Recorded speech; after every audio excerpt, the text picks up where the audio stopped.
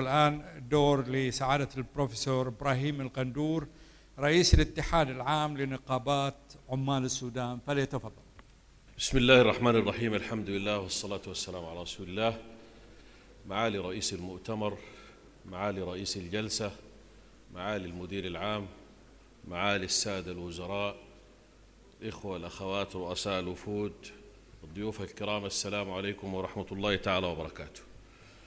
لحسن الحظ أنني لم أعيد مداخلة مكتوبة ولكن أرجو أن يكون حديثي دبلوماسيا وإن لم يكن كذلك فاعذروني فأنا عامل.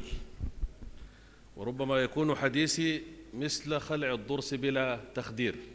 فاعذروني فبالمهنة أنا طبيب أسنان أيضا. وبالتالي سأحاول أن أضع النقاط على الحروف من رؤية عمالية بحتة. ولكني أقول بأن ما جرى في بعض دولنا العربية يمثل تاريخا مفصليا ومرحلة تاريخية سيشار إليها عبر القرون القادمة.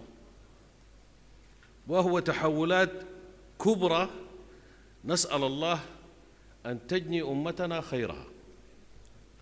الأمر الثاني أن هذه التحولات تأتي في وقت وقد خرجت دولنا والعالم من أزمة اقتصادية لم تتعافى منها بعد.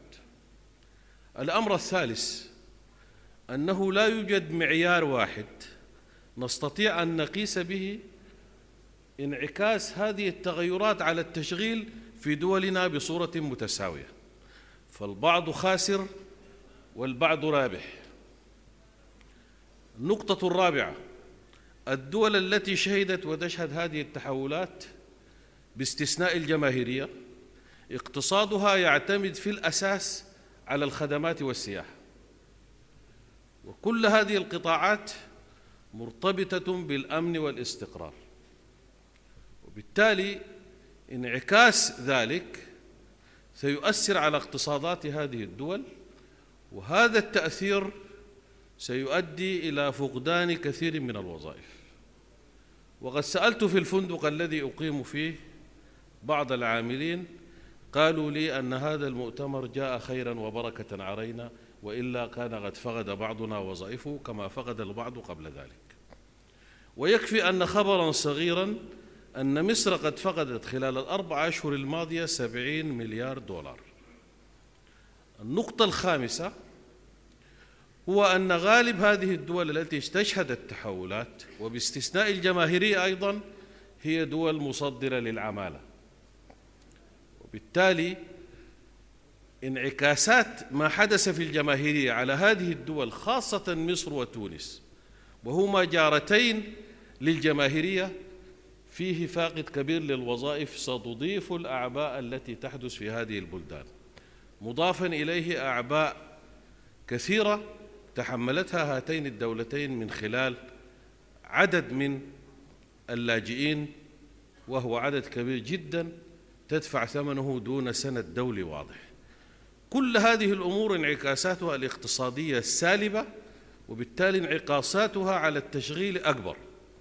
ولا ننكر بأن التغيير جاء وهو يطالب بالحرية والديمقراطية والحكم الراشد ولكن قضايا التشغيل والبطالة لم تكن بعيدة عن ذلك. فقد كان من حسن الظروف أن كنت في يوم الخامس والعشرين من يناير هنا ورأيت الشباب الذي خرج. أغلبه شباب يبحث عن وظائف في وقت فتح فيه التعليم وأغلقت فيه الوظائف بسبب تنقل الأيدي العاملة. القضية الأخرى هو المطالب الفئوية. وهنا سأتحدث كنقابي. كلنا نعلم أن هنالك فجوة كبيرة جدا بين الأجور في الوطن العربي وبين تكلفة المعيشة. مع ازدياد تكلفة المعيشة خلال السنوات الماضية كثير من بلداننا لا يصل فيها الأجر إلى أكثر من عشرة إلى خمسة عشر في المئة من تكلفة المعيشة. وبالتالي مع انفتاح الحرية ستزداد المطالب الفئوية. بل لا أبالغ إن قلت أنه سيكون فيها كثير من المزايدات. وقد شهدت بعض بلداننا ونحن هنا في مصر العزيزة انفتاحا على التعددية النقابية. هذا الأمر سيضيف أعباء كثيرة. سيجد صاحب العمل أنه يتحاور مع ست إلى ثمان نقابات في اليوم الواحد حينها ستكون المطالب خصما على استقرار العمل. هذه إشارة فقط أريد أن أقولها بأن التعددية النقابية التي يتحدث عنها البعض في العالم ستكون وبالا علينا إذا لم نراعي هذا الأمر. وقد شهدت في بعض بلداننا الأفريقية أكثر من مئة اتحاد بعضها كان مبني فقط على القبيلة والبعض الآخر على الحزب. وبانفتاح الأحزاب مع الانفتاح السياسي سنجد أن لكل حزب اتحاد حينها تتحمل الحكومات وأصحاب العمل هذه المطالب. الأمر الآخر أن هنالك قضايا كبرى علينا أن نلاحظها. هذه القضايا لن يكون لها حل وأقصد بالذات قضايا المطالب الفئوية والعمالية إلا إذا كان هنالك عقد اجتماعي عقد اجتماعي بين الحكومات والعمال وأصحاب العمل. هذا العقد الاجتماعي يجب أن يأخذ في الحسبان. حد أدنى للأجور يكفي بمتطلبات المعيشة. وإن لم يتم التوصل إليه فورا ولكنه يمكن أن يتفق عليه وفق برنامج معلوم. يكون فيه العمال شركاء في الغنم والغرم وهذا مبدأ إسلامي معروف. كانت هنالك أرباح فالعمال شركاء.